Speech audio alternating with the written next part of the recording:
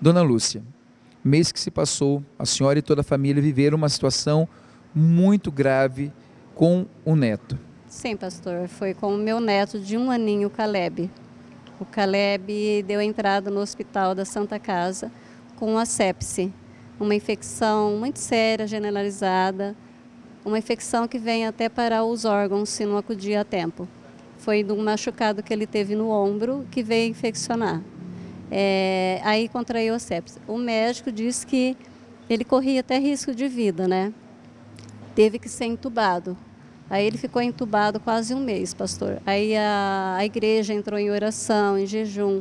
O pastor com a pastora foram lá, oraram pela criança, deixaram até um olhinho para minha nora, que a minha nora o tempo todo estava ungindo ele.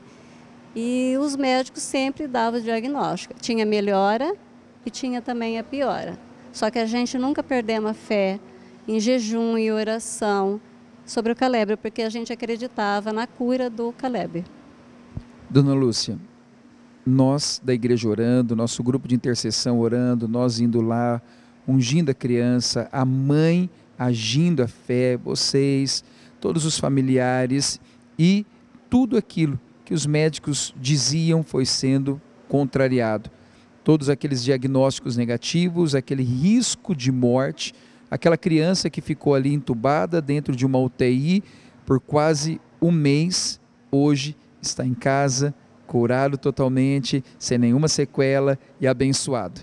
Sim, pastor. O Caleb desentubou, o Caleb, depois de quase um mês, com a oração, jejum, é claro, e com a ajuda de Deus, é, o Caleb foi curado. O Caleb está em casa, brincando, comendo. O Caleb não comia antes dele dar entrada no hospital. Ele aprendeu a comer também dentro do hospital. Então é, é um milagre de Deus. Os médicos chegaram até a família e falou que ele nunca viu uma situação dessa de uma criança sentar com essa infecção e sair viva de lá. Então ele falou que é um milagre realmente. Dona Lúcia, vale a pena pagar o preço, estar servindo a Deus, estar na presença de Deus, jejuando, orando, recebendo as direções, colocando em prática. Vale a pena tudo isso? Vale a pena, pastor. Vale a pena porque é como o, o milagre do Murilo, que foi naquele hospital, na Santa Casa. O braço também dele, né? A gente já sabe todo o testemunho da bispa. Foi ele quem fez, foi Deus quem fez esse milagre. Só gratidão, vale a pena e eu não saio mais dessa presença desse Deus. Gratidão, pastor. Milagre. Feliz e abençoada? Feliz e abençoada, pastor.